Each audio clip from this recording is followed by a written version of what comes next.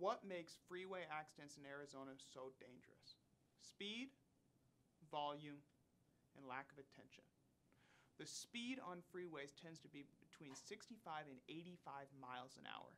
This increased speed versus a regular roadway causes much more catastrophic injuries. When a car is traveling at that rate of speed and it runs into a suddenly stopped car or crosses over and runs into a similarly sped car at that impact of speed, you're going to have a significant impact and a catastrophic injury.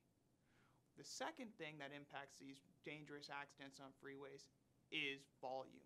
On a freeway, we have much more volume than we do on regular roadways. This increased volume leads for a much greater opportunity to have car accidents. Finally, attention. On freeways, we need to be giving the most attention possible because we have that high rate of speed and that significant volume. Unfortunately, we tend to give our least amount of attention on the freeways because people feel that they've driven these roads hundreds of times and they don't need to pay attention. That terrible trio of speed, volume, and lack of attention is what leads to catastrophic, traumatic injuries on freeways in Arizona and makes them much more dangerous than regular roadways.